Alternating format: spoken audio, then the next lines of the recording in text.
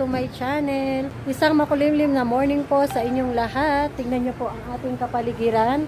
So yung panahon, lalo pong nakakatamad, lalong nakakaantok at mabilis ka pong gutumin pag ganito yung panahon. So si Habi, namalengke pala kaninang umaga, after po niyang mag morning walk, sinabay na niya yung pamamalengke. Bumili siya ng ano, gagamitin niya, magagawa daw siya ng momo. Kasi nga daw, ganito yung weather. So, naisipan niyang maggawa ng momo.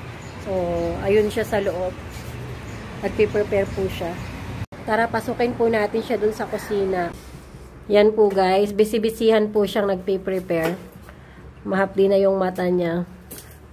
Ayan.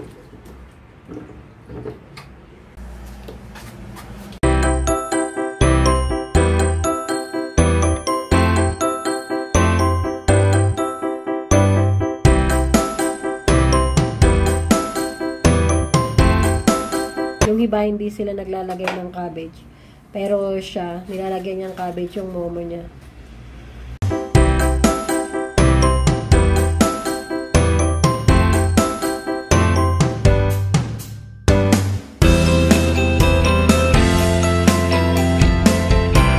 Ayan guys, tapos na po siyang maghiwa ng cabbage at saka onion.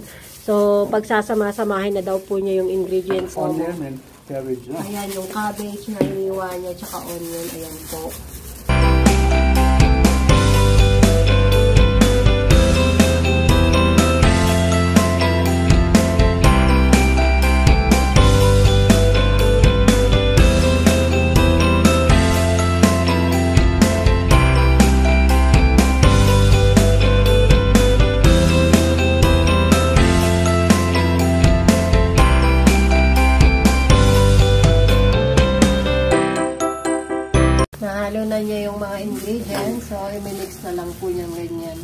Basta yung mga nilagay lang po niya, yung onion, cabbage, minced chicken, salt, pepper, and olive oil lang nilagay po niya.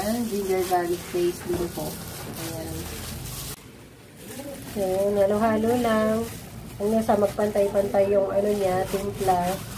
So, yan, na-mix na po niya. Ready na yan i-set aside niya muna yan and then i-prepare na po niya yung dough.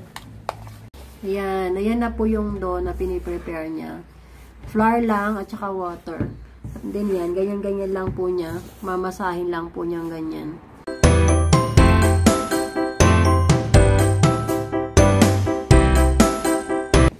Exercise din sa kanya yan. Hindi rin po ano, hindi rin easy yung pag ganyan-ganyan pagmamasahe sa do ng momo. Yan. So, ang ganda na po niya. Ano na siya? Pino. Tignan nyo po, oh. Ang ganda ng pagkakagawa niya. Pino na. Yan na yung magandang gamitin na pambalot ng momo. So, kailangan tatakpan na po niya ng wet na cloth itong do. Kasi, pag hindi mo po siya tinakpan na ganyan, masisira po yung do. Titigas po siya. Hindi na po siya magandang anuhin, pambalot. Start na po siya sa achar, yung pickle. So, ito guys, piniprepare naman po niya ang pickle, yung achar. Yun yung tinatawag dito ay achar. Yun yung pinakasos ng momo. So, inaano po niya. Niluluto po niya muna yung ano, sesame seed. Ayan. Ayan. And then, itong tomato rin po, binoboiled po niya. So, ayan. And then, ito po, gagamitin po niya yan na pandikdik sa sesame seed. Mamaya po ipapakita ko. Instead na blender, ito po yung gagamitin niya. Sinaunang ano, gagamitan sa kusina. So, ayan po. Nilagay na po niya dito. Diyan po niya didikdikin itong sesame seed. Ganito po yung pamamaraan po. Imbes na blender, nilididik po niya dito. Sa bato na to. Sabi po kasi nila, mas masarap daw po yung sesame seed. Pag ganyan. Pag ganito ang ginamit kaysa sa blender. So, ayan po, nalaga na yung kamatis. Babalatan na po niya yung kamatis. Lalagay po niya dun sa blender. Ibi-blender po niya yan.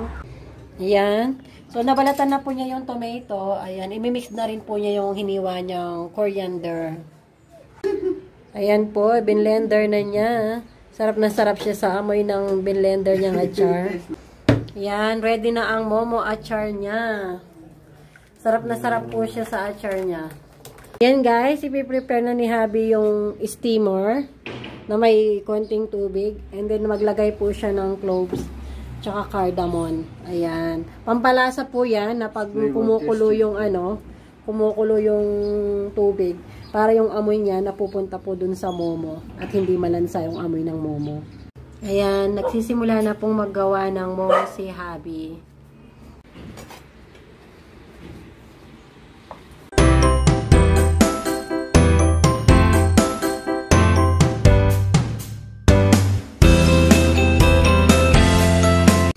Una po muna niyang ginagawa ay yung ilang pirasong veg momo po. Kasi vegetarian po yung biyanan kong babae. Ginawan po siya ng vegetable momo ni Habi. So yun muna yung una niyang lulutuin. Unang gagawin. So yan, unahin po muna namin yung vegetable momo. And then after nyan, pag naisalang na po yung sa kanya, isusunod na po namin yung chicken momo.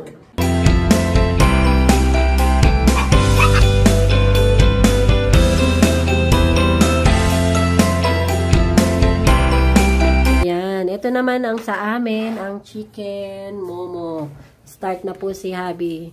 So, yan po, tutulungan ko na po si Habi na para po mapadali yung ginagawa po naming momo.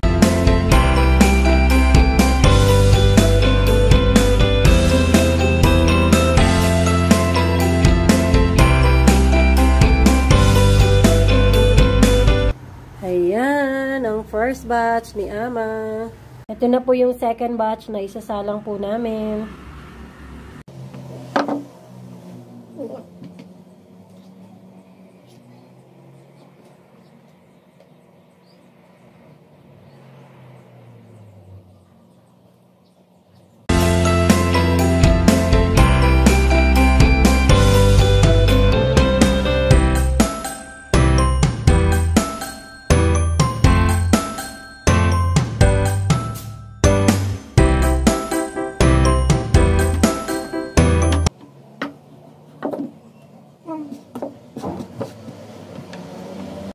Ayan na po ang second batch namin na chicken momo.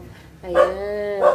Ready na po. So, third batch naman po tayo. Ito po yung, yung third batch na isasalang ko. Sa akin gawa yung ganitong pahaba. Yung kay Habi, yung pabilog. Ayan guys, gutom na si Habi. Kumain na po siya sa first batch na naluto. Hindi na po siya nakapagintay. gutom na gutom. Pati yung mga biyanan ko nandun na po sa labas kumakain ng momo tsaka yung hipag ko. Yan po, kumakain na rin si Baba doon ng momo. At syempre ako rin, kakain na rin at natutong Jones na guys. Hindi biro ang magawa ng momo, matrabaho. So, kain na po ako kasi naluto na rin na yung ano, pang third batch. Hindi lang, hang, akala ko hanggang third batch lang yung magawa namin. Meron pa pong tira. Ayan. So, ito na lang po ang last. I-stack na lang po sa steamer. Pag nagutom mamaya-maya, kakain po ulit. Ito na po yung sa akin. Ilang piraso? 2, 4, 6, 8, 10, 11. So, lampas na isang plato kasi pag umorder ka dito sa Nepal, ang isang plato, 10 pieces. So, may free siyang isa, kumbaga. So, kainan na.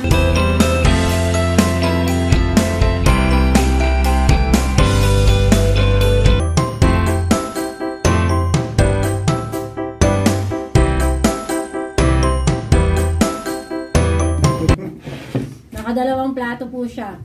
Nakadalawa. Second batch na po niya yan.